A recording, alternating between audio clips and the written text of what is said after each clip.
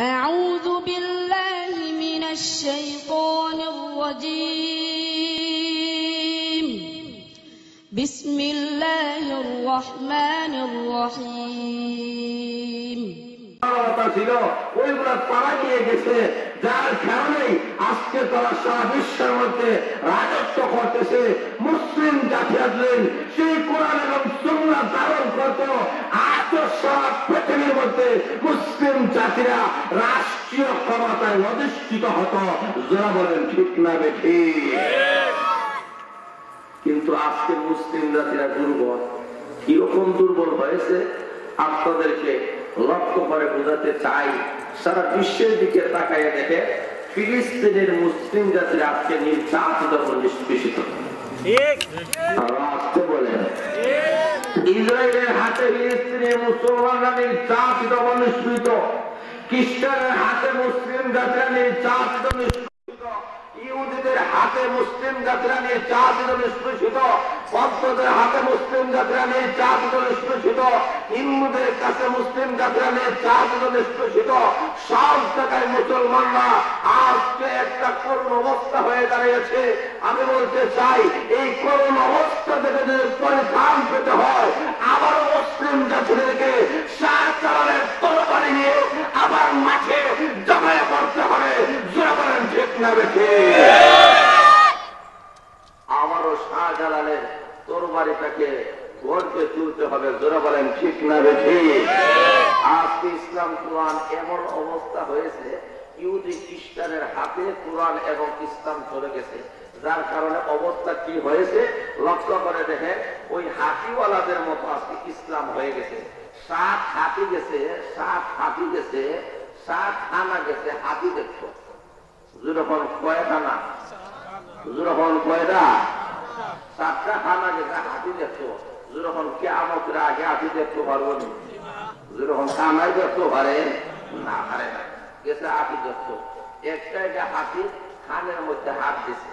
দেওয়ার পরে দেখে এটা কুলার মতো। তাকে বলা হলো, ভাই, তুমি হাতি দেখছ নি বলে কীরকম বলে, হাতি তো কুলার মতো। আসলে হাতিটা কি কুলার মতো? যেরকম কুলার মতো আরেকটা হাতি গুলো ভাই, হাতিটা শুনলে দেখছি, বলে, কীরকম? বলে, সে হয় ভিনারের মতো। এই ভিনারের মতো কীভাবে এই রূপটা হাতির হাওয়া পেয়েছে, হাওয়া পেয়ে দেখে ভিনারের মতো। আরেকটা লোককে জিজ্ঞেস করো ভাই, হাতিটা চলে দেখছি। বলে, কীরকম? বলে হাতিতে আমি দেখছি, দেওয়ালের মতো। দেওয়ালের মতো কীভাবে বলে হাতি খালি ভেদ হাতাইছে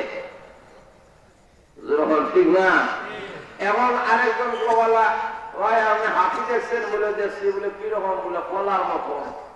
বলে, কলার মতো কীরকম বলে, কলা যেমন লম্বা, এ শুধুমাত্র হাতির সুর আতাইছে সুর হাতানের কারণে, লক্ষ্য করে দেখে, সুর আতানের কারণে সে বলে, কলার মতো। এই কারণে লক্ষ্য করে দেখে, বাস্তব অর্থে কিন্তু সে হাতি শুধুমাত্র সুর হাতাইছে যার কারণে সে বলে, কলার মতো। এই যে সাতজন যে হাতি দেখে সাত ধরনের মন্তব্য হলো আসলে কি হাতি কুলার মতো? আসলে কি জামালের মতো? বলেন আসলে কি বলার মতো? আসলে কি ওয়ালের মতো? আসলে কি বিড়ালের মতো? দেখেন। বলা হলো না আসলে হাতি এইরকম নাই তখন সাতটা হানারে হসপিটাল নিয়ে অপারেশন করে যখন ভালো হয়েছে এখন আইয়া দেখতে হয়, আসলে তো হাতি তো নাই আমরা যা দেখি সব অঙ্গ প্রত্যঙ্গ। আসলে সবটাই মিলে ইয়া হচ্ছে হাতি। যারা বলেন, ঠিক না ঠিক। ঠিক তেমনি ভাবে আমাদের সমাজে আজকে লক্ষ্য করে দেখেন, ইসলাম কমপ্লিট একটা জীবন ব্যবস্থা। কোরআনে আল্লাহ সবগুলাই আল্লাহ ঢুকাইয়া দিয়েছেন। যারা বলেন, ঠিক না ঠিক। কোরআনের মধ্যে মানুষের ব্যক্তি নীতি আল্লাহ ঢুকাইয়া দিয়েছেন। যারা বলেন, ঠিক না বে, ঠিক। আরও যারা বলেন, এই কোরআনে আল্লাহ পারিবারিক নীতি আল্লাহ ঢুকাইয়া দিয়েছেন। এই কোরআনে আল্লাহ সামাজিক নীতি আল্লাহ ঢুকাই দিয়েছেন। এই কোরআনে আল্লাহ রাষ্ট্রনীতি ঢুকাই দিয়েছেন। এই কোরআনে আল্লাহ অর্থনীতি ঢুকাই দিয়েছেন। এই কোরআনে আল্লাহ যুদ্ধ নীতি ঢুকাইছেন এই কোরআনে আল্লাহ পৌর নীতি ঢুকাইছেন এমন কোন নীতি নাই যা আল্লাহ কোরআন হাদিসে আলোচনা করেন নাই। জোরা বলেন, ঠিক না বেঠি কিন্তু আমাদের সমাজে এক দল আছে, এরা কোরআন, হাদিস না বুঝার কারণে ওই হাতিওয়ালার মতো হয়ে গেছে।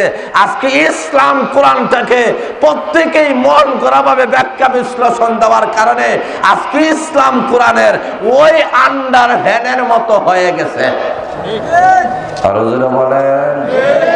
আন্ডার ভ্যানের মতো কীভাবে?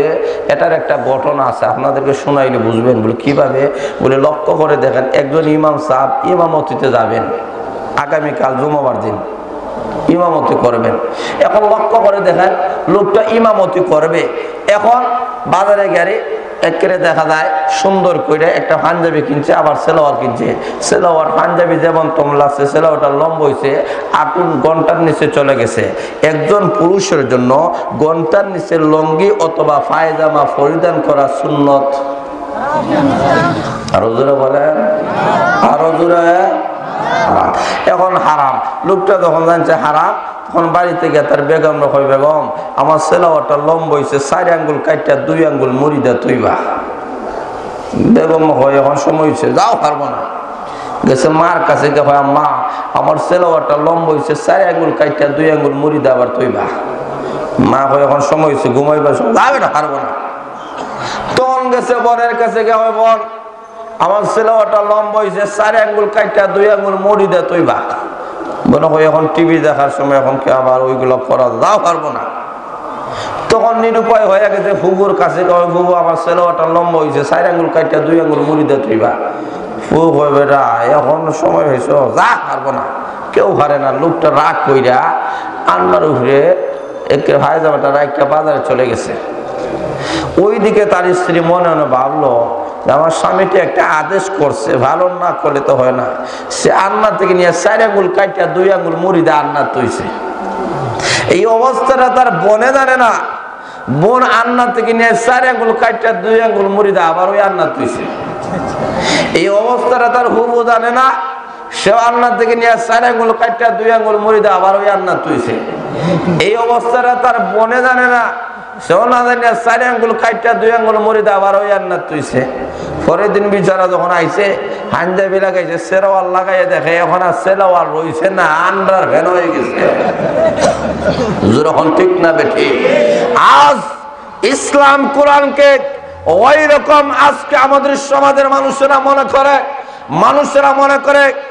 যে ইসলাম আর কোরআন শুধুমাত্র মসজিদ, মাদ্রাসার মধ্যে সীমাবদ্ধ। আমি বলতে চাই, এই কোরআন এবং ইসলাম মসজিদ, মাদ্রাসার মধ্যে সীমাবদ্ধ নয়।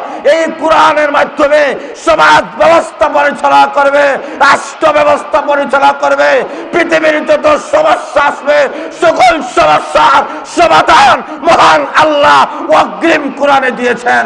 যারা বলেন, ঠিক না বেঠি এই কোরআনের মাদ্রাসা, জোরে বলেন, ঠিক না বেঠি এই কোরআন আল্লাহ দিয়েছেন এই কারণে লক্ষ্য করে দেখেন, নবী বলেন, দুইটা জিনিস রাখিয়া গেলাম। একটা কোরআন, দুই লম্বার হচ্ছে গিরি আমার সুন্না তোমাদের সামনে রেখে গেলাম। যারা বলেন সুবাহান এখনও শুন, বিশ্ব নবীর চল্লিশ বছর একদিন যখন অতিবাহিত হয়েছে, হেরা গুহার মধ্যে জিব্রাইল আলী সালাম নবীর কাছে আসিয়া বলেন, বিশ্ব নবী এ করা আপনি পড়েন। নবী বলেন, মা আনা বেকার ইন আমি পড়নেওয়ালা নয়। আবার জিব্রাইল বুকের সঙ্গে চাপ দিয়া আবার বলেন এ করা নবী, আপনি পড়েন। বিশ্বনবী বলেন, মা আনা বেকার ইন আমি পড়নেওয়ালা নয়। আবারও যা তাদের বলে, ইকরা আপনি পড়েন নবী বলেন, মা আনা বেকার ইন আমি পড়নেওয়ালা নয়। এবার বলেন, ইকরা বিসমি রাব্বিকাল্লাযী খালাক। নবীজি, আপনি পড়েন সেই রবের নামে যে রব আপনাকে সৃষ্টি করেছে। আর আসতে এখন সুবহান আল্লাহ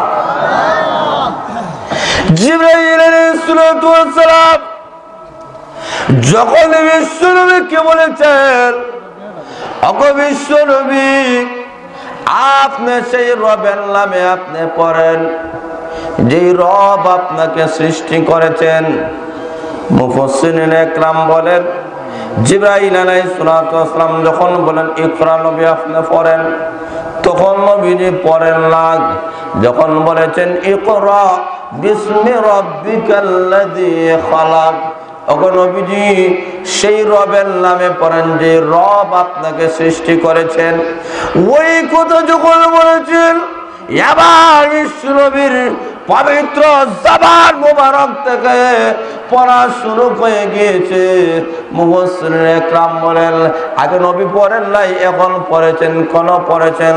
তার কারণ হয়েছে, যে লেখা পড়ার মধ্যে আল্লাহ এবং তার রসুলের নাম নাই, এটা কখনো প্রকৃত লেখাপড়া হইতে পারে না। আরও আরও যারা বলেন এই কারণে আসুন বিশ্ব নবী রহমাতুল আলমীর যখন শুনেছেন আল্লাহর নামে আমাকে পড়তে হবে। তখন বিশ্বনবী পড়াশুনো করে দিয়েছেন।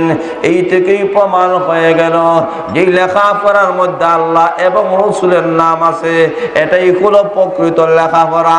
যে লেখাপড়ার মধ্যে আল্লাহ এবং রসুলের নাম নাই, এটা কখনো জাতির মেরুদণ্ডের লেখাপড়া হইতে পারে না।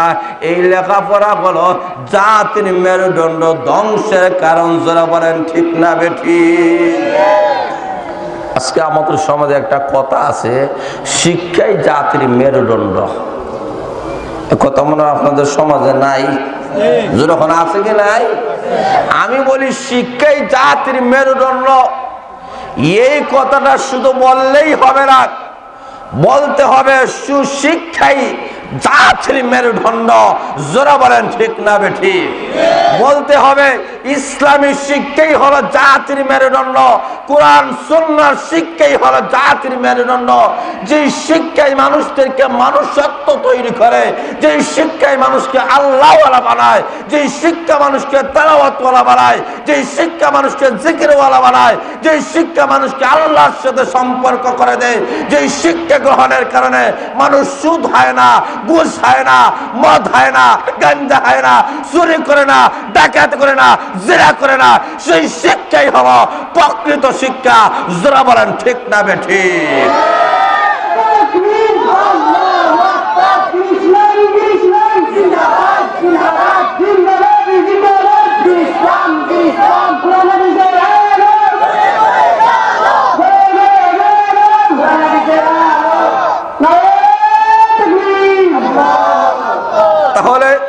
লক্ষ্য করে দেখেন, আমাদেরকে এইভাবে সংস্কার করে বলতে হবে যে সুশিক্ষাই হচ্ছে জাতির মেরুদণ্ড, ইসলামী শিক্ষাই হলো জাতির মেরুদণ্ড, কোরআন হাদিসের শিক্ষাই হলো জাতির মেরুদণ্ড, কোরআন হাদিস শিক্ষা ছাড়া, নবীর সুন্না ছাড়া, নবীর আদর্শ ছাড়া আল্লাহর কসম করে বলতে চাই, পৃথিবী থেকে অশান্তি কখনো নির্মূল করা সম্ভব হবে না।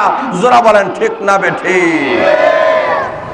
আজকে আমাদের সমাজ থেকে দুর্নীতি মুক্ত একটা সমাজ যদি গঠন করতে হয়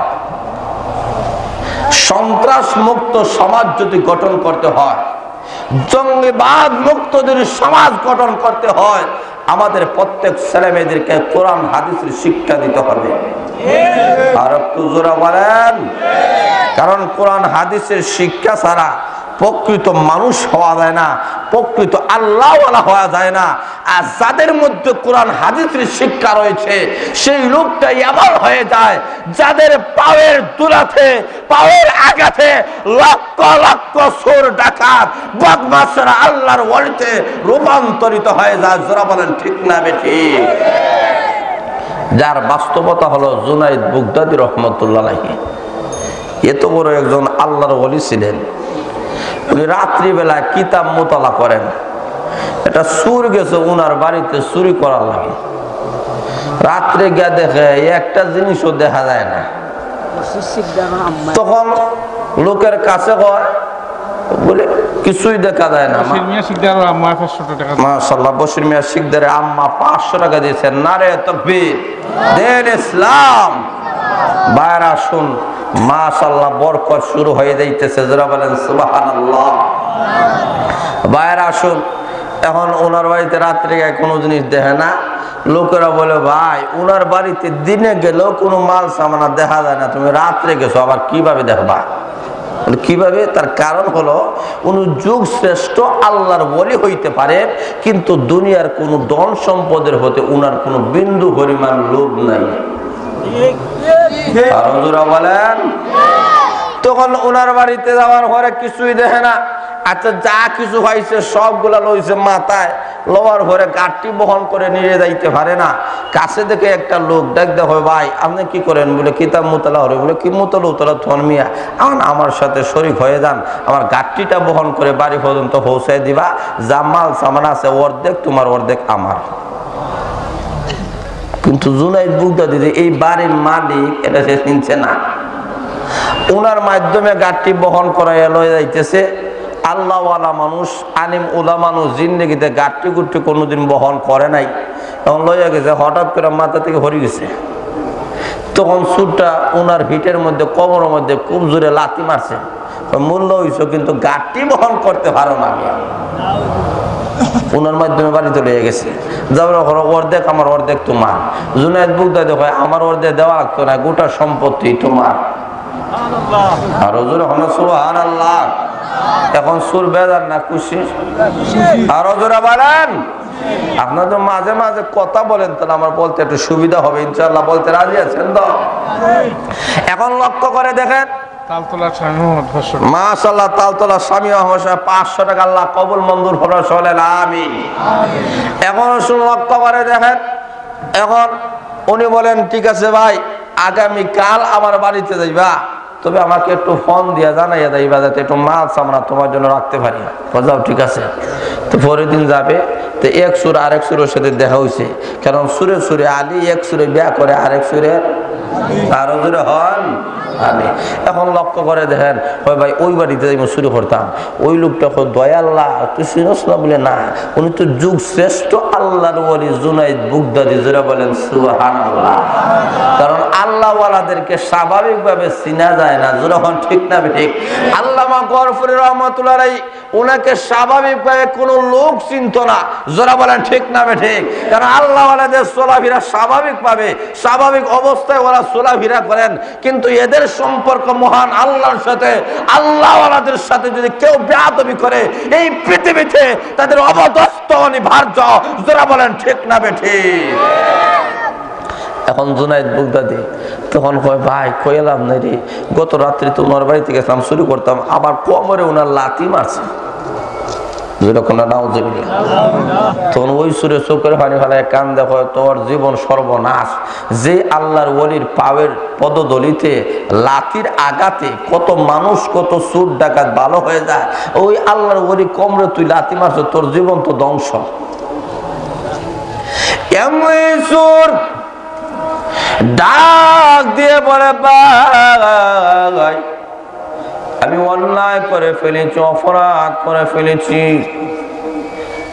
আমার মনে হয়, এই অপরাধ মহান আল্লাহ মনে হয় আমাকে মাফ করবে না। আমাকে নিয়ে চলো। ওই ওয়ালির কাছে, আমি তার কাছে আমি গিয়া মাফ চাবো। উনি যদি মাফ করে না দেয়, আমি কোথায় যাব? কার দরবারে আমি যাব? আমাকে নিয়ে চলো।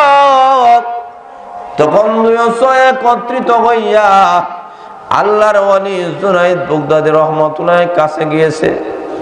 হাওয়ের মধ্যে যা পাইয়া পরে বলে, আল্লাহর ওয়ালি গো আমি অন্যায় করে ফেলেছি, অপরাধ করে ফেলেছি। মেহরবানি করে আমাকে আপনি মাফ করে দেন। আপনি যদি মাফ করে না দেন, আমার মনে হয় মহান আল্লাহ আমাকে মাফ করবে না। এমনি চোখের পানি ফালায় কান্দে আর পাও সারে না। ওই আল্লাহর বলি জুনাইদ মুক্তি রহমতুল্লাহ থেকে পাও থেকে তুলে বুকের সঙ্গে মিশিয়ে দিয়েছেন। আর ডাক বলেন তোমার স্থান আমার পাবে নয়, তোমার স্থান হলো আমার বুকে। আরও জোরে বলেন আমার মুখের মধ্যে চলে আয়, আমি তোকে মাফ করে দিলাম। সঙ্গে সঙ্গে আল্লাহ রাব্বুল আলামিন ঘোষণা দিলেন, ও ফিরিস্তারা আমার যে সুরটার বুক, আমার ওয়ানি জুনাইদ বুকদাদের বুকের সঙ্গে মিশে গিয়েছে, এই লোকটাকে আর সুরের খাতার মধ্যে তার নাম থাকুক এটা আমি চাই না। আমি ঘোষণা দিলাম, আমার অলির খাতিরে তাকেও আমি এই মুহূর্তে অলির দফতরে তার নাম ধরে দিলাম। তলি লক্ষ্য করে দেখেন, এইরকম আল্লাহ সহবতের মাধ্যমে সুর বালক হয়ে যায়, ডাকাত বালক হয়ে যায়। এইভাবে জিনা কোনো ভালো হয়ে যায় বদমাস ভালো হয়ে যায়। কারণ আল্লাহ ওয়ালাদের নজর স্বাভাবিক নয়। জোরে বলেন ঠিক না বেঠি? আরও জোরে বলেন। এইভাবে লক্ষ্য করে দেখেন। আলহামদুলিল্লাহ। আচ্ছা পরবর্তীতে দিবেন আমার আলোচনা শেষ হওয়ার পরে ইনশাল্লাহ সব এখানে জমা রাখবেন দিবেন আমি নাম বলব। ইনশাল্লাহ আনোয়ার? আনোয়ারুল ইসলাম একসাথে আল্লাহ কবুল আম লক্ষ্য করে দেখেন, ওই জুরাইদ মুক্তদের রহমতুল্লাহ এত বড় আল্লাহর ওলি ছিলেন, একমাত্র কোরআন হাদিস যার মধ্যে থাকে সেই লোকটা আল্লাহওয়ালা হয়ে যায়। এমন আল্লাহওয়ালা যখন হয়ে যায় আল্লাহ বলেন, দুইটা গুণের মাধ্যমে মানুষ আল্লাহওয়ালা হয়ে যায়।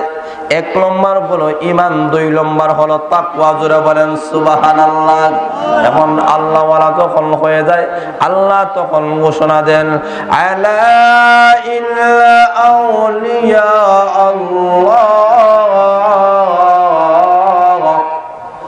لا خوف عليهم ولا هم يحزنون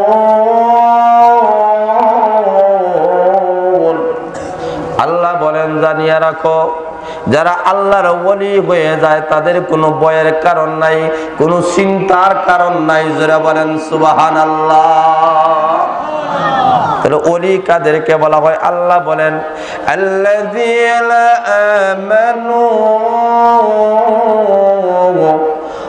কানু ইয়াত্তাকুন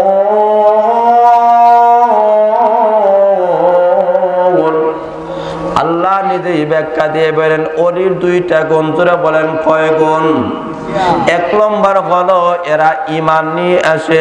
দুই নম্বর হলো, মুত্তাকি হয়ে যায়। এই দুইটা গুণ যারা অর্জন করেছে, আল্লাহ বলেন, তারাই বলো, আমি আল্লাহর দৃষ্টিতে সেই লোকটা অলি হয়ে যায়। এমন অলি যারা হয়ে যায়, আমি আল্লাহ ঘোষণা দিলাম বয়ের কোনো কারণ নাই, চিন্তার কোনো কারণ নাই। সারা পৃথিবী অলিদের পদতলে এসে যাবে, যারা বলেন আল্লাহ এইরকম আল্লাহর ওলি ছিলেন জুনাইদ বুগদাদুর রহমতুল্লাহ উনি একদিন রাস্তা দিয়ে যান হঠাৎ করে দেখেন একটা সুরে ফাঁসির কাষ্টে জুলাইয়া হত্যা করা হইতেছে। এই অবস্থা দেখিয়া উনি চোখের ভানি ভালাইয়া কান্দেন বেউসের মতো হয়ে গেছেন। জোরা বলেন সুবাহান আর বলেন "ও, জোরা করে রাখ আমার কি হয়ে গেল? আমি কেন ওই সুরের মতো হলাম না?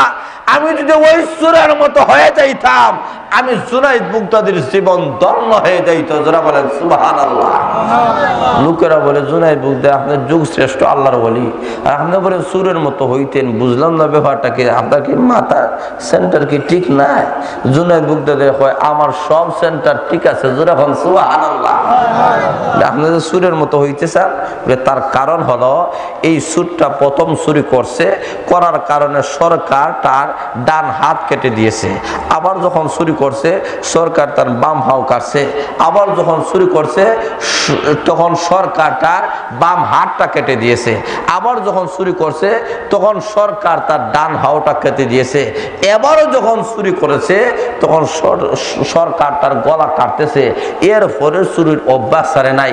একটা চুর গুনার কাজের মধ্যে, হারাম কাজের মধ্যে অটল থাকতে গিয়ে তার জীবন বিসর্জন করে দিয়েছে। কিন্তু আমি জুনাইদ বুগদাদি আল্লাহর হুকুম নবীর তরিকা কোরআন সুন্না ধারণ করতে গিয়া এখনও পর্যন্ত আমি জীবন যে দিতে পারি নাই এই দুঃখে চোখের ফানি ফালাইয়া কাটতেছি আরও জোরে হল সুহান আল্লাহ আল্লাহর ওলি একটা থেকে শিক্ষা গ্রহণ করতেছে। ঠিক তেমনি ভাবে যারা কোরআন, হাদিস গ্রহণ করে নেই, সেই মানুষটা আল্লাহর ওলিতে রূপান্তরিত হয়ে যায়। সেই মানুষের ইজ্জত, সম্মান মহান আল্লাহ বাড়াই দেয়। যারা বলেন, ঠিক না বেঠি কিন্তু আজকে আমাদের সমাজের অবস্থা হলো, যারা কোরআন, হাদিস শিক্ষা গ্রহণ করে, এরাই হচ্ছে গা জঙ্গিবাদ। বলেন।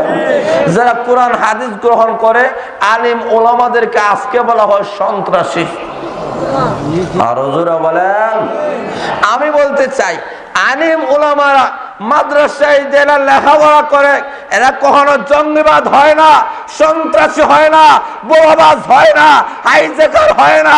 এরাই আল্লাহর ওলিতে রূপান্তরিত হয়, যাদের কারণে আল্লাহ আকাশ, জমিন, চন্দ্র, সূর্য, গ্রহ, নক্ষত্র আল্লাহ টিকাইয়া রেখেছেন। যারা বলেন, ঠিক না বেটি? কিন্তু আমরা তাদেরকে চিনি না। আমি এই কথা বলতে চাই, এই মাদ্রাসায় লেখাপড়া যারা গ্রহণ করে, এরা কখনো সন্ত্রাস জঙ্গিবাদ হয় না। আরও বলেন। এরা কি হয়? আল্লাহ আল্লাহর অলিতে রূপান্তরিত হয়ে যায়। যুগ শ্রেষ্ঠ জুনাইদ বুগদাদির মতো আল্লাহর ওলি হয়। আল্লামা শাহ আহমদ শবি সাহেবের মতো আল্লাহর অলিতে রূপান্তরিত হয়। যারা বলেন সুবাহান আল্লাহ লক্ষ্য করে দেখেন, সারা বিশ্বের সমস্ত ওলামা একরামের, গোটা বাংলাদেশের সমস্ত হকানি রব্বানি ওলামা একরামের নয়ন ভানি আল্লামা আহমদ শবি সাহেব ওনার কাছে অস্ত্র নাই, তরবারি নাই, কোনো কামান নাই, কোনো কিছু নাই। কিন্তু উনি কি করেন? উনি শেষ পর্যন্ত আল্লাহ দরবারে কান্নাকাটি করেন। যার কারণে উনি যদি একটা আওয়াজ দেন, সারা বিশ্বের মুসলিম জাতিরা, এমনকি বাংলাদেশের সমস্ত ওলামাকে এক প্ল্যাটফর্মে আসতে বাধ্য থাকে। তার একমাত্র কারণ ওনার সম্পর্ক আল্লাহর সাথে। আরও জোরা বলেন। তোরা কৌমি মাদ্রাসা আজকে আমাদেরকে কি উপহার দেয়? এই যে মাদ্রাসা আছে, তালতলা মাদ্রাসা আমাদেরকে কি উপহার দেয়? এইগুলো আজকে আমাদের সমাজের মানুষকে বুঝতে হবে।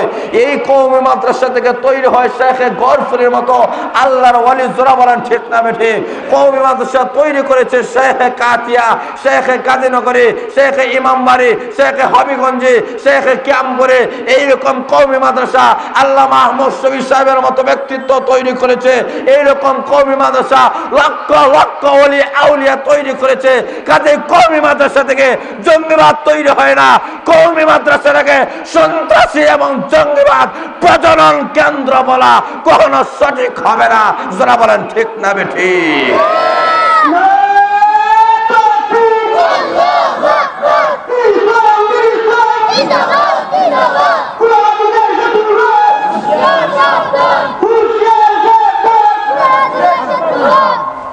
ভাইয়ের আসুন।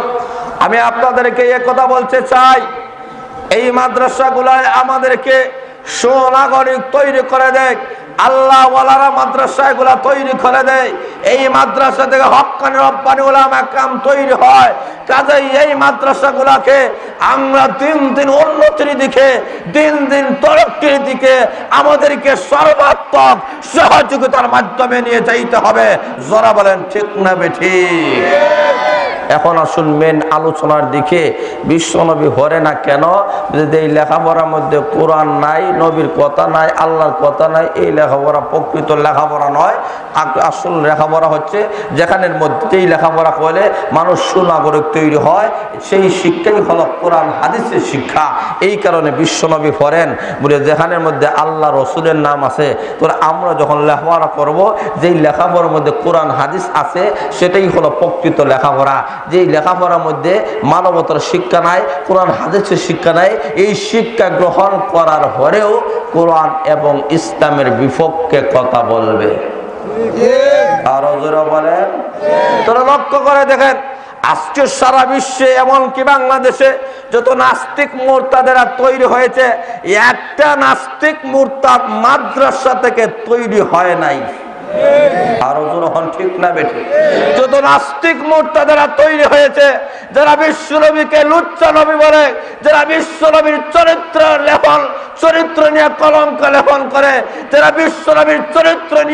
সমালোচনা করে, যারা আল্লাহকে মানে না, যারা রসুলকে মানে না, যারা জান্নাত মানে না, যারা জাহান্নাম মানে না, সেই নাস্তিক মোর্চাদেরা মাদ্রাসা থেকে তৈরি হয় না, সেই নাস্তিক মোর্চাদেরা জাগতিক শিক্ষা থেকে তৈরি হয়। যারা বলেন ঠিক না ঠিক।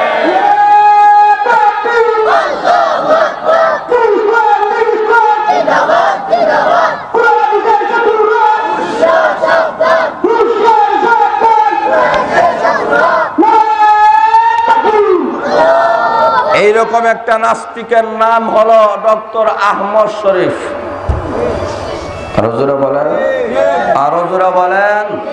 ডক্টর আহমদ শরীফ ইন্তেকালের আগে ওসিয়ত করে গেছে, আমি মারা যাওয়ার পরে আমাকে জানাজার নমাজ দিবা না। আমাকে গোসল দিবা না। কাহনের কাহল হরাইবা না। কারণ কবর জগৎ বলতে কিছুই নাই। জান্নাত বলতে কিছুই নাই। জাহান্নাম বলতে কিছুই নাই। এই ডক্টর আহমদ শরীফ কোন মাদ্রাসায় ভরেছে কোন মাদ্রাসায় ভরছে এইরকম আরেকটা নাস্তিকের নাম হলো তসলিমা নাসরিন। যেই তসলিমা নাসরিন কোরআনকেই বিশ্বাস করে না কোরআনের মধ্যে নাকি ভুল আছে? আরও জোরা বলেন। সেই তসলিমা নাসরিন বলে, একটা পুরুষ যদি চারজন স্ত্রী একসঙ্গে রাখতে পারে, তো একটা মহিলা একটা মহিলা ভার চারজন স্বামী রাখতে পারবে না। কেন?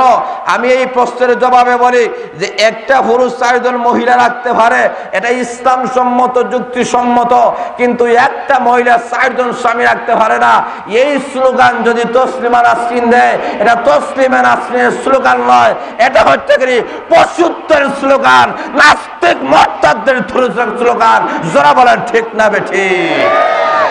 বলে, কীভাবে? তার কারণ আপনাদেরকে একটা উদাহরণের মাধ্যমে বোঝাই দিতে চান। একটা সন্তানের কয়জন বাবা হইলে খুশি? আরও জোরে বলেন। একটা বাবার যদি একটা সন্তান হয়, অসুবিধা নাই। একটা বাবার যদি জন সন্তান হয়, বেজার না খুশি? আরও জোরে সুরে বলেন। বিশ জন হইলে খুশি না বেজার? খুশি। মাশাল্লাহ আমার লাঠিয়াল বাহিনী আছে।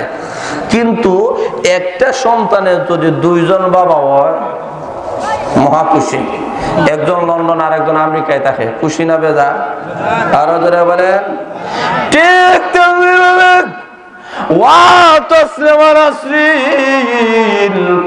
তোমার মধ্যে কোরআন শিক্ষা নাই। কোরআনের পরশ না থাকার কারণে তুমি কোরআনের উপরে যুক্তি টানো ও তো শ্রীমানাসিন তুমি শুনে নাও, একটা বাবার জন্য যেমন একাধিক সন্তান পাওয়া, বাবার জন্য যেমন গৌরবের বিষয়, সম্মানের বিষয়, ঠিক তেমনি ভাবে একটা স্বামীর জন্য যদি চারজন স্ত্রী হয়, সেই স্বামীর কোনো মর্যাদার ঘাটতি হয় না। মর্যাদা তার জায়গার মধ্যে থাকে। যেমনি ভাবে একটা সন্তানের জন্য একাধিক বাবা হওয়া, যেমন তার জন্য অপমানের বিষয় না সম্মানের বিষয়? আরও যারা বলেন, ঠিক তেমনি বাবা অতসলিমানাসিন তোমার যদি একাধিক স্বামী হয়ে যায় তসলিমানাসিন গো তোমার ইজ্জত সম্মান বাড়বে না। একটা কুত্তির যেমন একাধিক কুত্তা থাকে, কোন কুত্তার সঙ্গে তার ব্যবহার করেছে, তা আনন্দ উল্লাস করেছে, সে যেমন বুঝতে পারে না। ঠিক তেমনি ভাবে তোমার যুক্তি যদি মানা হয়, তাহলে একাধিক স্বামী যদি তোমার হয়ে যায়, তাহলে তোমার আর কুত্তির মধ্যে কোনো ব্যবধান থাকবে না। এই কারণে আল্লাহ রাব্বুল আলামিন বলেন, কোরআন শিক্ষাই হলো আসল শিক্ষা। কারণ কোরআন শিক্ষা দিয়েছেন কে? আরও জোরে বলেন, আল্লাহ বলেন, আর রহমান আল্লামাল কুরআন। আল্লাহ বলে রহমান তাকে বলা হয়, যিনি মানুষকে কোরআন শিক্ষা দিয়েছেন। তাহলে লক্ষ্য করে দেখেন, স্বয়ং আল্লাহ কোরআন শিক্ষা দিয়েছেন জিব্রাইলকে। জিব্রাইল শিক্ষা দিয়েছেন বিশ্ব নবীকে, বিশ্ব নবী শিক্ষা দিয়েছেন সাহাবা একরামদেরকে, সাহাবা একরাম শিক্ষা দিয়েছেন তাবিগণকে। তাবিগণ শিক্ষা দিয়েছেন, তবে তাবিগণকে। এইভাবে কোরআন শিক্ষা চালু হইতে হইতে এই তালতলা মাদ্রাসা পর্যন্ত এসে পৌঁছিয়েছে যারা বলেন সুবহানাল্লাহ। বাইরা শুন লক্ষ্য করে দেখেন, এই কারণে কোরআন শিক্ষা যাদের মধ্যে আছে, এরাই হলো প্রকৃত মানুষ। কোরআন শিক্ষা যদি না থাকে, সে তসলিমা নাসরিনের মতো নাস্তিক মোরতাদ হয়ে যাবে। আরও যারা বলেন, এইরকম আরেকটা নাস্তিকের নাম হলো ফলিদা রহমান। নাম শুনছেন না? যখন শুনছেন আরও জোরা বলেন, এইরকম যাদের মধ্যে কোরআন, হাদিসের শিক্ষা থাকবে না। তারা কিন্তু মকৃত মানুষ হইতে পারবে না। নাস্তিক মুরতাদ হয়ে যাবে, জাহান্নামী হয়ে যাবে। এই কারণে আল্লাহ রাব্বুল আলামিন বলেন, কোরআন শিক্ষা আমি আল্লাহ দিয়েছি। এই কারণে কোরআন শিক্ষা গ্রহণ করতে হবে। দুই নম্বর হলো, নাস্তিক মুরতাদ মাদ্রাসায় তৈরি হয় না। সন্ত্রাসী, জঙ্গিবাদী কখনো মাদ্রাসা তৈরি করে না। যারা বলেন, ঠিক না বেঠিক এর মধ্যে একজন সন্ত্রাসীর নাম বাংলা ভাই। নাম শুনছেন না? যখন শুনছেন নি? শেখ আব্দুর রহমান ডক্টর আসাদুল্লাহ গারিব, নাম শুনছেন না? এইরকম সন্ত্রাসী, এইরকম জঙ্গিবাদ, এটা একটাও মাদ্রাসা থেকে তৈরি হয় নাই, জোরা বলেন ঠিক না বেঠে।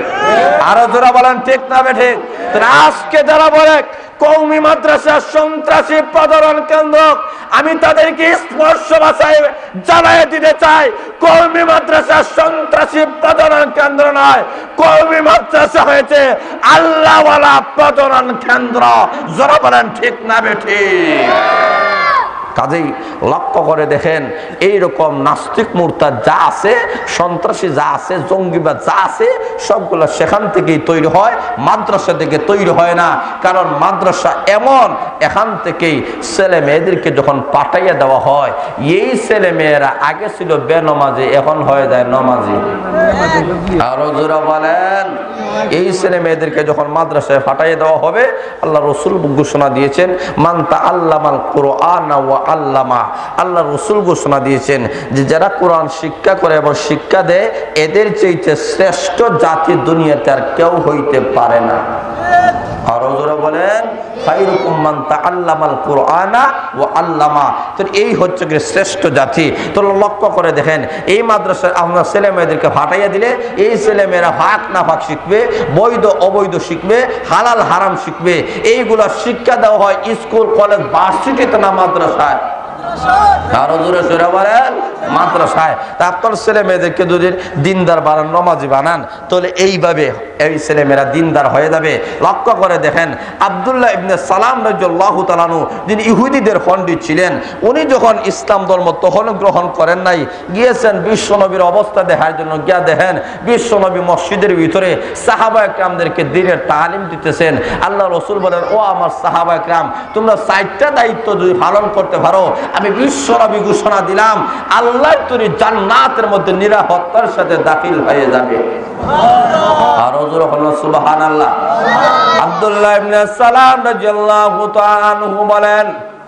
বিশ্ব ঘোষণা দিয়েছেন, ও আমার তোমরা যদি চারটা দায়িত্ব পালন করতে পারো আমি বিশ্ব নবী ঘোষণা দিলাম নিরাপত্তার সাথে আল্লাহর তুমি জান্নাতের মধ্যে চলে যাবে এক নম্বর হল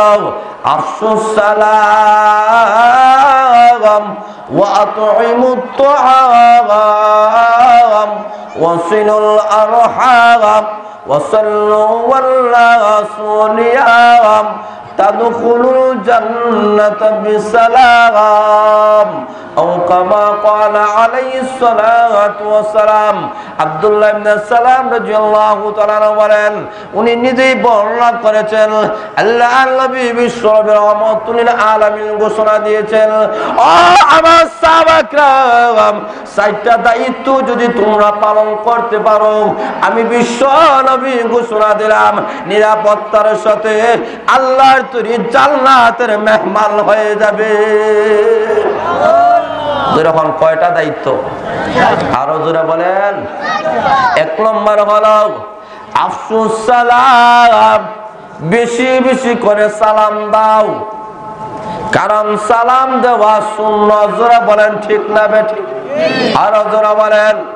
আল্লাহ নবী বলেছেন, ও আমার সাহাবাকরাম কোন মানুষের সাথে সাক্ষাৎ যখন করবাদ কথা বলার আগে সালাম দিবাদ আসসালামু কাবলাল কালাম। কথা বলার আগে সালাম দিবান এটাই হলো নবীর সুন্নত। যারা বলেন, ঠিক না ঠিক। ও আমার সাহাবাকরাম বেশি বেশি করে সমাজের মধ্যে সালাম দাও। এই সালামের মাধ্যমে শান্তি বর্ষিত হবে। একজন লোক যখন মারা গিয়েছে, আপনি যখন তার বাড়িতে গেলেন দেখার জন্য, আপনি গিয়া বললেন, আসসালামু আলাইকুম ওয়া রাহমাতুল্লাহি ওয়া বারাকাতুহু। আল্লাহর নবী বলেছেন, এতটুকু যদি আপনি বলতে পারেন আপনার আমল নামায় মহান আল্লাহ ত্রিশটা নেকি লিপিবদ্ধ করে দেওয়াইবে। সালামে সব না গুণা আর হুজুরা বলেন, এই কারণে আল্লাহ নবী বলেন, প্রথম লম্বার হলো সালাম দিবাগ দুই লম্বার হলো ওয়া তুই মুক্ত মানুষদেরকে দাওয়াত খাওয়া জুড়ে বলেন সুবাহান আল্লাহ তিন নম্বর হল ওয়াসিলুল আরহাম। আত্মীয় সম্পর্ক বজায় রাখো। এটাই হলো তিন নম্বর দায়িত্ব। চার নম্বর হলো কবির রাত্রিতে যখন মানুষ ঘুমায়া যায়, তখন যদি তুমি নামাজে দাঁড়ায়া যাও দাঁড়ায়া চোখের পানি যদি তুমি পারো, এই চোখের পানির দাম আছে কি নাই? আরও জোরা বলেন। এই কারণে আল্লাহ নবী বলেন কবির রাত্রিতে তাহাজ্জুদের নামাজে দাঁড়ায় দাও। ও আব্দুল্লাহ ইবনে সালাম, ও আমার সাহাবা একরাম, এই সাইটটা দায়িত্ব যদি তোমরা পালন করতে পারো, আমি বিশ্ব নবী ঘোষণা দিলাম, তাদখুলুল জান্নাত বিসালাম, নিরাপত্তার সাথে আল্লাহর তৈরি জান্নাতের মেহমান হয়ে যাবে। দায়িত্ব কয়টা? আর বলেন এই সাইটটা দায়িত্ব যদি পালন করতে পারো। তাহলে নিরাপত্তার সাথে দাখিল হয়ে যাবে আল্লাহর তৈরি জান্নাতে। তাহলে গভীর রাত্রিতে আপনি কান্নাকাটি করেন। এই কান্নাকাটির দাম আছে কি নাই? আর হুজুরা বলেন, আছে কি নাই? আছে। গভীর রাত্রে চোখের পানি ফালাইয়া যদি কান্দেন, নীরব নিস্তব্ধ ভাবে যে আবাদত করা হয়, আল্লাহ রসুল সাল্লাহ ইসলাম ঘোষণা দিয়েছেন কামতের কঠিন ময়দানে রবিজি বলেন, সাত দল মানুষকে আরও সে ছায়া নিচে স্থান দেওয়া হবে।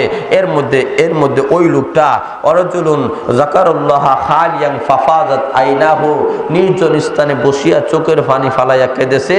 আল্লাহ বলেন, সেই চোখের পানির কারণে কামতের কঠিন ময়দানে আর সে ছায়ার নিচে তার স্থান দেওয়া হবে। আর হজুর সুবাহান আল্লাহ কারণ কেয়ামতের মাঠটা তো যেমন তেমন মাঠ না, জোরহন ঠিক না। কারণ ওই কেয়ামতের মাঠ যখন কায়েম হয়ে যাবে, এই সময় লক্ষ্য করে দেখেন, হঠাৎ করে দেখা যাবে হাসরের ময়দান জলমল করতেছে।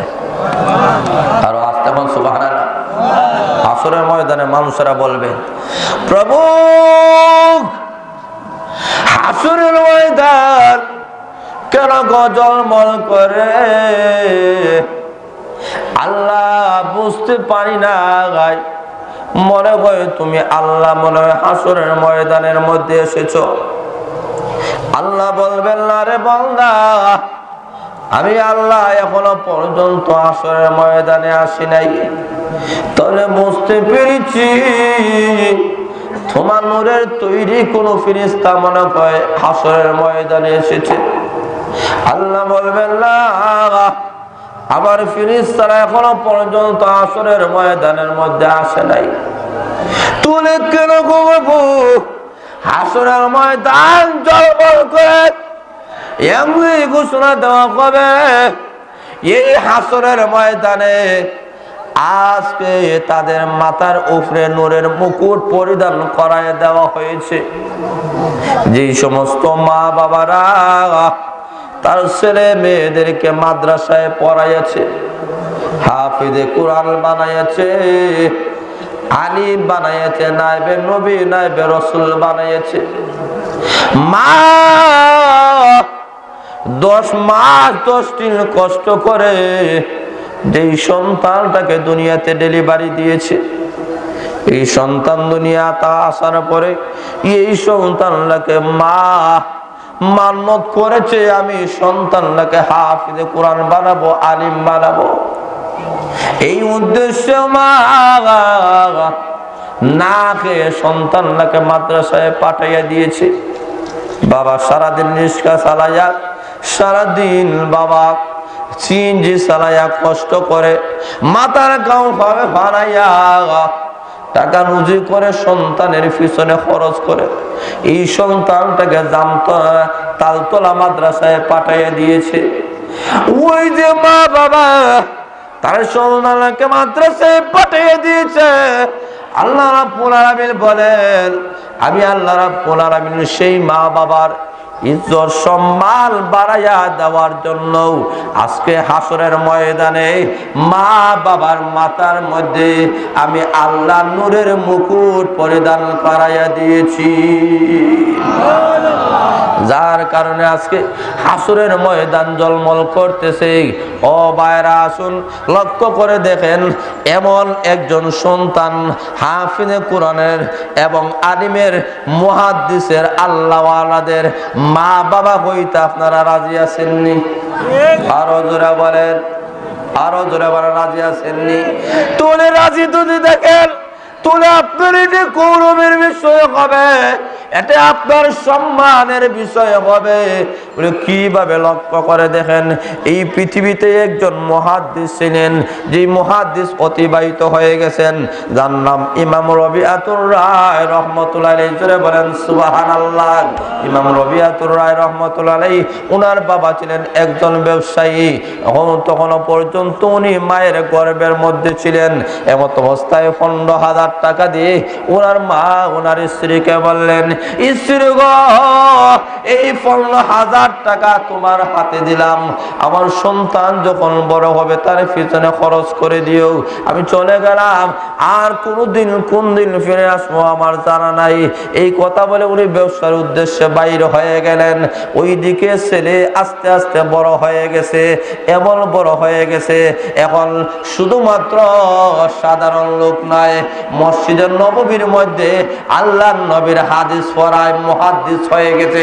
জোরা বলেন সুবাহান আল্লাহ ওইদিকে দীর্ঘদিন পরে বাবা বাড়ির মধ্যে যখন এসেছে আসার পরে বাবা এবং ছেলে দরজার মধ্যে উভয়জনের সাক্ষাৎ।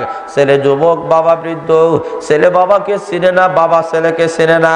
বাবা ডাক দিয়ে বলে শ্রী দীর্ঘদিন পরে বাড়িতে আসলাম, কিন্তু দরজার সামনে একটা যুবক দেখা যায়। যুবকের পরিচয় আমাকে দিতে হবে। না দেওয়া পর্যন্ত আমি বাড়িতে ঢুকবো না। ওইদিকে ডাক দিয়ে বলে, মা কত কষ্ট করে গো আমাকে আপনি মহাদিস বানাইয়াছেন। কিন্তু আমার দরজার সামনে একটা বৃদ্ধ লোক দেখা যায়। এই লোকের পরিচয় না দেওয়া পর্যন্ত মা, আমি কোনো কিছু খাব না, ঘরের ভিতরে ঢুকবো না। ওইদিকে জ্বরের আদান হয়ে গিয়েছে। স্ত্রী ডাক দিয়ে যান জোরের নামাজ আদায় করার পরে আবার আপনারা আসবেন, আমি সমাধান করে দিব। তখন তুইও জন্য আমাদের চলে গেছেন। জ্বরের আদান যখন শেষ হয়ে গিয়েছে, এমনি একজন ঘোষণাকারী ঘোষণা দে। খেরে তোমরা বাড়িতে যাইও না, এই জায়গায় অবস্থান করো, কারণ একজন মহাদিস সাহেব হাদিসের দশ দিবেন, জোরা বলেন সুবাহান এমনি লক্ষ্য করে দেখেন, হাদিসের দশ দিবেন ইমাম রবিয়াতুর রায় রহমতুল্লাহ বাবা ছেলেকে চিনে না। হাদিসের দর্শের মধ্যে বসে গিয়েছে। এমনি দেখা যায়, ইমাম রবিয়াতুর রায় রহমতুল্লাহ হাদিস পড়াচ্ছেন। হাজার হাজার ছাত্র ওরা রয়েছে। হাদিস এমন ভাবে সাবলীম ভাবে হাদিসের তোর জমা করেন, আর ব্যাখ্যা করেন। যা শুনে বাবার চোখের পানি সামনে রাখতে পারে না। চোখ থেকে জোরে জোরাইয়া পানি পড়তেছে। হাদিস পড়া যখন শেষ হয়েছে, বাবা পরের দিকে যখন আসতেছে স্ত্রীকে ডাক দিয়ে বলেন, স্ত্রী গো, আগে তুমি পরিচয় দাও, ওই যুবকের পরিচয় দাও। এবার লক্ষ্য করে দেখেন, স্ত্রী ডাক দিয়ে বলেন, প্রাণের স্বামী, জোরের নামাজ যে আপনি দীর্ঘ করে আসলেন, জোরের নামাজ মাত্র বারো মিনিটে পড়া যায়। আপনি তো দীর্ঘ বা দীর্ঘ, দীর্ঘক্ষণ পরে আপনি আসেন, কেন আসলেন? আসার কারণটা কি? এবার স্বামী ডাক দিয়ে বলেন, স্ত্রী গো জোহরের নামাজের পরে একজন ঘোষণাকারী ঘোষণা দিয়েছেন, একজন মহাদিস সুন্দর করে হাদিস পড়াবেন। আমি কলাম না, ওই জায়গার মধ্যে বসে বললাম, ওনার সাবলীন বাসায় হাদিসে তোর জমা এবং ব্যাখ্যা শুনলাম, আর চোখের পানির সামনে রাখতে পারি নাই। ও স্ত্রী এমন একটা সন্তানের বাবা যদি আমি হইতাম, আমার জীবন দল্য হয়ে যাইত। আমি গৌরবান্বিত হয়ে পড়তাম এবং সন্তানের বাবা যদি আমি হইতাম, এবার স্ত্রী চোখের পানি ফলায় কান্দে, আর ডাক দিয়ে বলে, স্বামী গো, এবার হিসাব নেন, ওই যে যুবক, এই যুবকটার কেউ নয়, এই যুবকটা আপনার এবং আমার সন্তান। ইমাম রবি আতুর রায় জুড়ে বলেন সুবাহান আল্লাহ স্ত্রী ডাক দিয়ে প্রাণের শ্রমিক আপনার ওই টাকা হিসাব নেন যেই টাকা আপনি আমাকে দিয়ে গিয়েছিলেন, ওই টাকা দ্বারা আমি জীবনে কোনোদিন ভালো কাপড় পরিধান করি নাই, ভালো কোনোদিন খাওয়াল খাই নাই, ভালো গাড়ি কোনোদিন আমি চলি না গাই আপনার দেওয়ার টাকা দ্বারা আপনার সন্তানের পেছনে আমি খরচ করেছি। এই সন্তানটা ভূমিষ্ঠ হওয়ার পরে আমি সন্তানটাকে মক্তবে পাঠাইয়া দিয়েছি। এরপরে মাদ্রাসায় পাঠিয়ে দিয়েছি। এরপরে অনেক উচ্চ শিক্ষা গ্রহণ করার জন্য আরেক জায়গায় পাঠিয়ে দিলাম। এইভাবে আপনার দেওয়া আমানতের টাকা আপনার সন্তানের পিছনে খরচ করে আমি আপনার সন্তান লাগে যুগ শ্রেষ্ঠ এত বড় মহাদিস বানিয়েছি। এবার স্বামী চোখের পানি বালায় কান্দে আর ডাক দিয়ে বলে, স্ত্রী গো, তুমি যা করেছ তার প্রতিদান আমি দিতে পারব না। মহান আল্লাহ তোমার প্রতিদান দিবেন। তাহলে লক্ষ্য করে দেখেন মায়েরা এমন একজন মুহাদ্দিস সাহেবের বাবা যদি আপনি হইতে পারেন, এমন একজন হাফিজে কোরআনের বাবা যদি হইতে পারেন, এমন একজন আলিমের বাবা যদি হইতে পারেন, এতে আপনার ইজ্জত সম্মান কমবে না, বাড়বে। আরও জোরা বলেন দুনিয়াতেও আপনার ইজ্জত বাড়বে, আখিরাতেও মহান আল্লাহ রাব্বুল আলামিন আপনার ইজ্জত, সম্মান মহান আল্লাহ বাড়াইয়া দিবেন। কারণ কিয়ামতের কঠিন ময়দানে সাহেবে কোরআনকে আল্লাহ ঘোষণা দেবেন, ও কোরআনওয়ালা, আজকে তুমি সুপারিশ করো। তুমি সুপারিশ করার পারমিশন দিলাম। আল্লাহর নবী বলেন, ওই সাহেবে কোরআনওয়ালা দশজন লোকের বেলায় সুপারিশ করবে। এমন দশজন যাদের বেলায় বিশ্ব নবী বলেছেন যাদের উপরে আল্লাহ করে দিয়েছেন, এমন দশজন লোকটাকে সুপারিশ করিয়া আল্লাহর তৈরি মেহমান বানাইয়া সন্তানের মা বাবা আপনারা যদি হইতে পারেন, খুশি না বেদার একটু দিকে করেন জোরে সুরে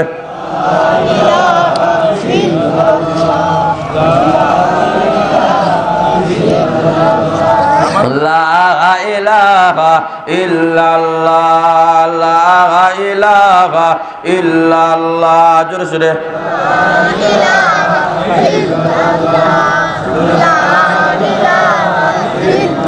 লা ইলাহা ইল্লাল্লাহ জোরে সুরে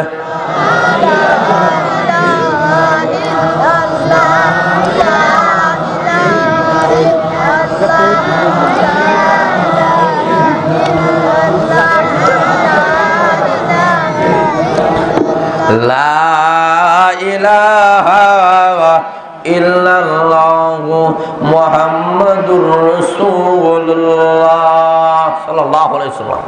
তাহলে লক্ষ্য করে দেখেন, এই মাদ্রাসায় আপনার ছেলে মেয়েদেরকে পাঠাইয়ে দিলে এই ছেলে মেয়েরা নমাজি হবে, দিনদার হলে হবে, আল্লাহওয়ালা হবে ঐশীর মতো সন্ত্রাসী হবে না। বলেন, যে ঐশী তার মধ্যে কোরআন হাদিসের শিক্ষা না থাকার কারণে নিজ হাতে তার মা বাবাকে হত্যা করেছে। আজকে বাংলাদেশের পরিস্থিতি দিয়ে তাকাইয়া দেখেন, পত্রিকা করলেই দেখা যায় একটা সন্তানের হাতে মা বাবা হত্যা হয়েছে, ভাইয়ের হাতে বোন হত্যা, বোনের হাতে ভাই হত্যা। এইভাবে এই রকম যে হত্যা হইতেছে এই রকম যে আমাদের সমাজের উশৃঙ্খলা, আমাদের সমাজে অশান্ত সমাজ হয়ে গেছে, তার একমাত্র কারণ হলো কোরআন হাদিসের সমা কোরআন হাদিস যেই রকম শিক্ষা গ্রহণ করার কথা ওই রকম গ্রহণ করছে না। আজকে সকল ডিপার্টমেন্টের লোকেরা যদি কোরআন, হাদিস শিক্ষা গ্রহণ করে সর্বস্তরের মানুষরা যদি নমাজি হয়ে যায়, দিনদার হয়ে যায়, আল্লাহওয়ালা হয়ে যায়, তাহলে লক্ষ্য করে দেখেন, এই বাংলাদেশ থেকে দুর্নীতি বন্ধ করার জন্য সুর লাগবে না সুর টাকা বন্ধ করার জন্য পুলিশ লাগবে না, আর্মি লাগবে না বিডিআ লাগবে না। একমাত্র কোরআন, হাদিসের মাধ্যমে সুর টাকা বন্ধ করা সম্ভব।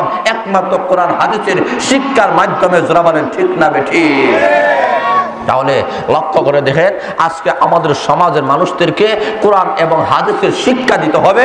এই কোরআন, হাদিসের শিক্ষা যদি আপনার ছেলে মেয়েদেরকে দেন। এই ছেলে মেয়েরা দুনিয়া তো আপনারা সুপারিশ করব কেমতের কঠিন ময়দানে সুপারিশ করে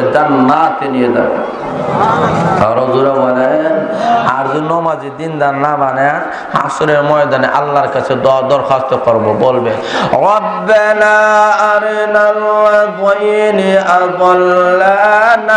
মিনাল জিন্নি ওয়াল ইনস লক্ষ্য করে দেখেন, ওই কামতের কঠিন ময়দানে রব্বানা আরিনাল্লাদাইনি আদাল্লানা মিনাল জিন্নি ওয়াল ইনস।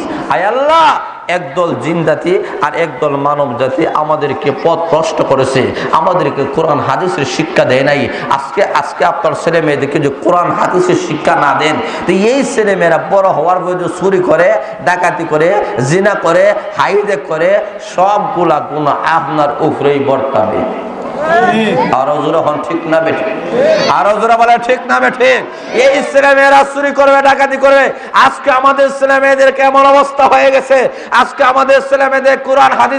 শিক্ষা না দেওয়ার কারণে আজকে মসজিদের ইমাম বাবা নামাজ ভরানি লাগে। জোরা বলেন, ঠিক না আবার দেখা যায় মৃত্যু বার্ষিকী পালন করে, কারণ কোনো শিক্ষা নাই, মৃত্যু বার্ষিকী, জন্ম বার্ষিকী পালন করে। বাবা যেই দিন মারা গেছে, ওই দিন মসজিদে ইমাম, মসজিদে আইন না, আর কিছু দূর দূর ভরাইয়া আর কিছু তেলাও তলা করে হাস্যকে হাদিয়া দেয়া দিলায় যদি সেই দুদিন লেখাপড়া জানতো, কোরআন, হাদিস যদি জানতো, তাহলে সন্তান হইয়া মা বাবার কবরের কাছে গিয়া দুদিন আল্লাহর শিখানো দোয়া পড়তো, আল্লাহ ঘোষণা দিতেন, ও বন্দা, যাও, জীবনের গুণা তার মাফ করে দিয়েছে। কিন্তু আপনার ছেলে নমাজি দিনদার বানাইছেন না। বাবা মারা গেছে, এখন সন্তান দেখা যায় দিনদার নাই, নমাজি নাই আল্লাহ আল্লাহওয়ালা না, দিনদার হইছে না। তো এখন কি হয়েছে? এখন লক্ষ্য করে দেখেন, এখন বাবা মারা গেছে, তিন দিন পর্যন্ত কানছে কান্দার পরে আর এক বন্ধু হয়ে বেটা আর কান্দে লাভ নাই। আর সিলেট একটা সিনেমা হলো একটা সিনেমা দেখি। গ্যাস সিনেমা দেখছে দেখার পরে রাত রাত বারোটার সময় আসতেছে। রাস্তা দিয়ে দেখে তার বাবার কবর। কবরের কাছ দিয়ে হয়ে এখন কি করা যায়? আমার আব্বা তো আমাকে কলমা কালাম তসবি তালিল কোনো কিছু শিক্ষা দিছে না। তখন কি পড়তো? তখন মাখন মিয়া মাশাল্লাহ মাশাল্লাহ মাখন সাহেবের একশো টাকা আল্লাহ কবুল মঞ্জুর ফরমাও। আল্লাহ জান মালে রক্ষ দিয়ে দশ হলেন আমিন। এখন লক্ষ্য করে দেখেন, সে আসতে গিয়ে দেখে এখন কি করবে? তখন সে লোকটা হয় আল্লাহ, এই যে আমি সারা কয়েক ঘণ্টা বর আমি যে সেনা মহলে যা দেখছি, সবগুলো আমার মা বাবার উপরে বসাইয়া গেলাম। সব হয়েছে না কোনো হয়েছে আরও বলেন কিন্তু না আপনার ছেলে মেয়েদেরকে যদি ওই তাল তোলা মাদ্রাসায় যদি পাঠাইয়া কোরআন যদি বানাইতে পারেন, আপনি যখন কবর বাসী হয়ে যাবেন, তখন সন্তান কবরের কাছে গিয়া পড়বে, ইয়াসিন ওয়াল কোরআনিল হাকিম। এইভাবে সুরাইয়াসিন তেলাওয়াত করবে, এইভাবে যখন সুরাইয়াসিন তেলাওয়াত করবে, আল্লাহ ঘোষণা দিবেন ফেরেশতারা আর দেরি করিও সন্তান হইয়া মা বাবার কবরের কাছে যেহেতু সূরা ইয়াসিন তেলাওয়াত করতেছে, আমি আল্লাহ ইয়াসিনের বরকতে তার মা বাবার কবরের আযাব আমি আল্লাহ মাফ করে দিলাম। তাহলে মা বাবা কবরে শান্তিতে থাকো এমন আমরা চাই কি না আরও জোরে বলেন চাই যদি চাইয়ে থাকেন, একজনও মা বাবার দরদি সন্তান মাহফিল থেকে উঠবেন না। কয়েক মিনিট আমি ভিতরে আমি আলোচনা শেষ করে দিব। আপনাদের কাছে সর্বপ্রথম বলতে চাই, মা বাবা যাদের কবরবাসী হয়ে গেছেন, সুখে শান্তিতে থাকবেন, আমরা দোয়া করব। এমন কোন দিনদার দরদি, আল্লাহওয়ালা, এমন কোন মার দরদি মা বাবার দরদি, সন্তান আসেননি। এই মাহফিলে আমি এই মুহূর্তে পাঁচ হাজার টাকা দেব। এমন কোন আল্লাহওয়ালা আসেননি। হাত তুলে দাঁড়ান। আমরা দোয়া করব কেমতের কঠিন ময়দানে বিশ্ব নবীর সঙ্গে আপনার হাসর হবে। আর মা বাবা কবরবাসী হলে জান্নাতে আল্লাহ আল্লাহ মা বাবার কবরটাকে জান্নাত বানাইয়ে দিবে। আমরা দোয়া করব, এমন কোন দরদের সন্তান আছেন, পাঁচ হাজার টাকা, পাঁচ হাজার টাকা দেবেন। এমন কোন দরদের সন্তান আছেন, এক নম্বরে দাঁড়ান এক নম্বরে। পাঁচ হাজার টাকা, পাঁচ হাজার টাকা।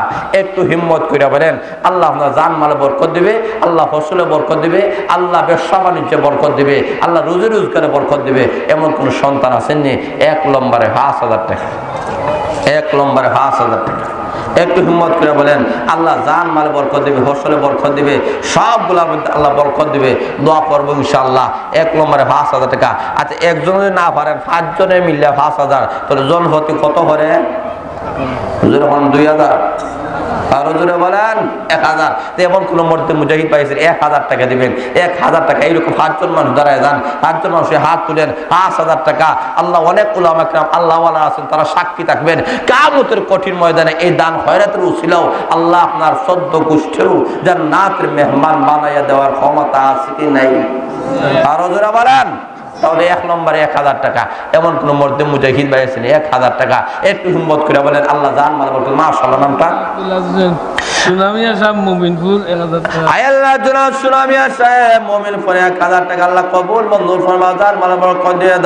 মনের বাসনা পূর্ণ করে দাও আসমান জমিনে বালা মুসিবতকে হেফাজত আমিন দুই নম্বরে এক হাজার টাকা দুই লম্বার দুই লম্বার একটু হিম্মত করে বলে দুই লম্বার এক হাজার জি আল্লাউদ্দিন সাহেব মুমিনপুর এক হাজার টাকা জনাব হাজি আলাউদ্দিন সাহেব দুই নম্বর এক হাজার টাকা আল্লাহ কবুল মঞ্জুর ফরমাও। যার মানে বরকত দাও মনের বাসনা করে দাও শোনেন আমিন রাব্বাল আমিন তিন নম্বরে এক হাজার টাকা তিন নম্বর তিন নম্বর এক হাজার আপনারা যত তাড়াতাড়ি দিবে আমি তত তত তাড়াতাড়ি মাইকটা ছাড়ি দিব।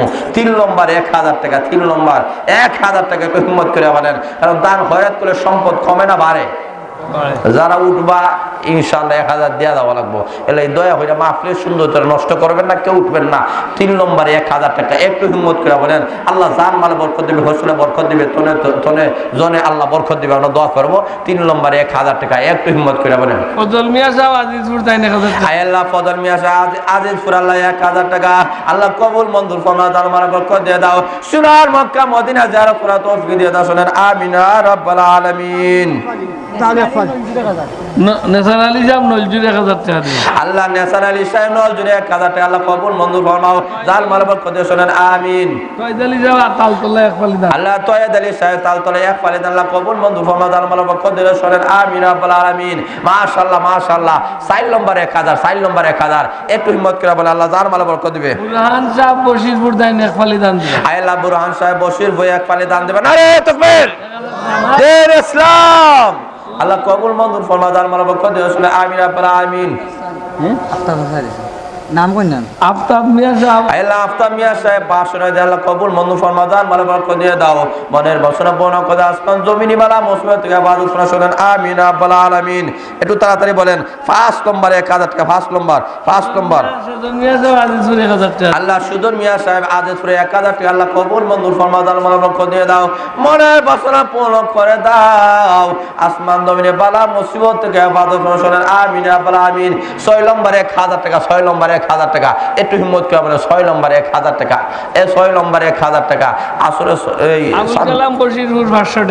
আল্লাহ আবুল কালাম বশিরপুর আল্লাহ পাঁচশো টাকা কবল মঞ্জুর ফরমাও। যার মানে পক্ষ দিয়ে দাও শোনেন আব্বাল আমিন ছয় নম্বর এক হাজার টাকা একটু হিম্মত করে বলেন আল্লাহ জান মালে বরকত দিবে আল্লাহ ফসলে বরকত দিবে। কারণ সম্পদ দান খয়রাত করে সম্পদ কমে না বাড়ে।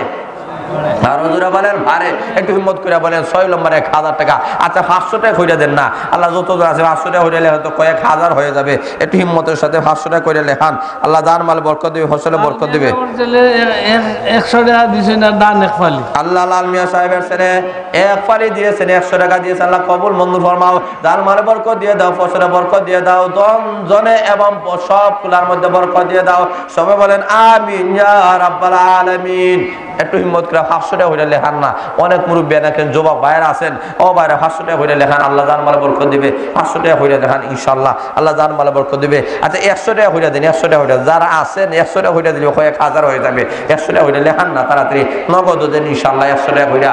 আচ্ছা দান দান দান ফসলের এলাকা ফসলের এলাকা আছে এক মন দুই মন হইলে দান লেখান না। আমরা দোয়া করব ফসলে বরকত দিবে। আল্লাহ একজন মুরব্বী সাহেব আল্লাহ দুইশো টাকা দিয়েছেন আল্লাহ কবুল বন্ধু আয় আল্লাহ ডাক্তার সাহেব দুইশো টাকা দিয়েছে আল্লাহ কবুল মঞ্জুর দান মালা দিয়ে দাও। মনে বাসনা পূর্ণ করে শোনেন আমিন রাব্বাল আলামিন। সবাই পড়ুন সুবহানাল্লাহি ওয়া বিহামদিহি সুবহানাল্লাহিল আযীম। আচ্ছা কয়েকজন ছাত্র যার যত আছে টাকা টাকা টাকা একশো টাকা পাঁচশো টাকা ওইটা। যার ভোটে যত আছে কেউ খালি হাতে ফেরত দেবেন না। কেউ মাহফিলে কেউ মাহফিলে সুন্দর নষ্ট করবেন না। ইনশাল্লাহ যার পকেটে যত আছে দেন ইনশাল্লাহ আল্লাহ যার মালা বরকত দিবে। সবাই একটু হিম্মতের সাথে বলেন সুবহানাল্লাহি। ইব্রাহিম পাঁচশো টাকা দিবা। আইলা ইব্রাহিম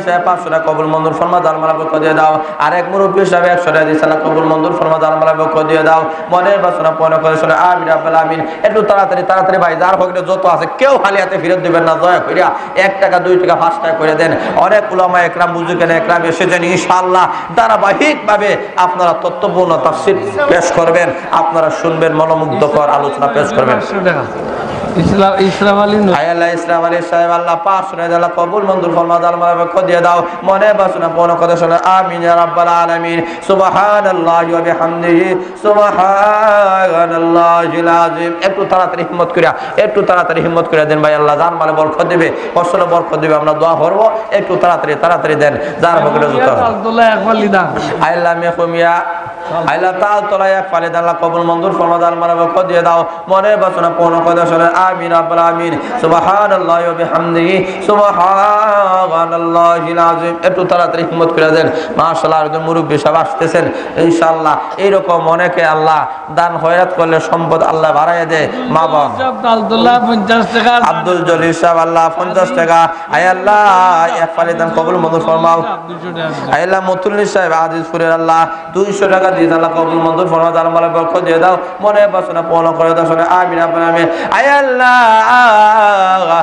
কায়দে মাতা পিতাকে আল্লাহ কবরে তুমি সুখে শান্তিতে রাখিও সবাই আমিন। আজিজুর এক ফালি দান আলাউদ্দিন সাহেব আজিজপুর আল্লাহ এক ফালিদান আল্লাহ কবুল মঞ্জুর ফরমা দান মালা বরকত দিয়ে দাও। মনে বাসনা পূর্ণ করে শুনে আমিন আপনার আমিন। সবাই মক্তসর সাল্লাল্লাহু আলা সাইয়্যিদিনা ওয়া মাওলানা মুহাম্মদ ওয়া আলা আলিহি ওয়া সাহবিহি ওয়া সাল্লাম। আলহামদুলিল্লাহ। لهذا وما كنا لنهتدي لولا أن هدانا الله. رب ارحمهما كما ربياني صغيرا রব্বুল আলামিন আমরা যারা হাত বাড়াইলাম আমাদের জিন্দেগির সমস্ত গুণাগুলোকে মাফ করো এ রব্বুল আলামিন এলাকার মাটির নিচে যত মুমিন মুমিনাত কবরবাসী হয়ে গেছেন প্রত্যেকের কবরগুলোকে বেসের বাগান বানাইয়া দাও যারা জিন্দা আছেন তুমি নে খায়া দরা শর্মাও যারা অসুস্থ আছেন তোমার দারু সেবা থেকে সেবা দান ফরমাও যারা দান খরাত করেছেন, প্রত্যেকের দান খরাতকে আল্লাহ তুমি কবুল, মঞ্জুর ফরমাও। আল্লাহ, এই মাদ্রাসার সভাপতি, সেক্রেটারি কেশিয়ার আল্লাহ, সকল আশা রাখবেন নে খায়া দরা শর্মাও মুখসেন সাহেব শিক্ষা সচিব সাহেবের নে খায়া দরা শর্মাও আয় রব্বুল আলামিন, দর্শক, আল্লাহ তুমি তিন দিন তরক্কি আয়াত ফরমাও। আমাদের পক্ষ থেকে লক্ষ লক্ষ দরুদ সালাম সোনার মদিনায় পৌঁছিয়া দাও। তুমি সারা কার কাছে রোদন করব? তুমি বেনে কারও কাছে করে মরুদন তুমি বিনে কে বুঝবে? আমরা রিবে বলে মরণে আল্লাহ? কবর হাসরে। আমরা দেখিও আল্লাহ? সদয় কত গুণা করিয়াছি খনি দেও মা ওয়াসওয়াসা হইতে দিল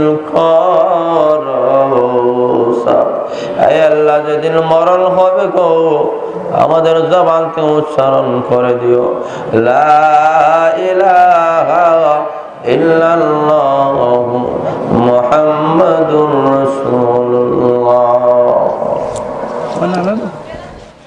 আসসালামু আলাইকুম। সম্মানিত ভিউয়ার্স আদর্শ জীবনের পক্ষ থেকে আপনাদের স্বাগত জানাচ্ছি। আমার ভিডিও দেখে যদি আপনাদের ভালো লাগে, তাহলে অবশ্যই লাইক কমেন্ট এবং সাবস্ক্রাইব করে আমাকে উৎসাহিত করবেন। জাজাকুল্লাহ হয়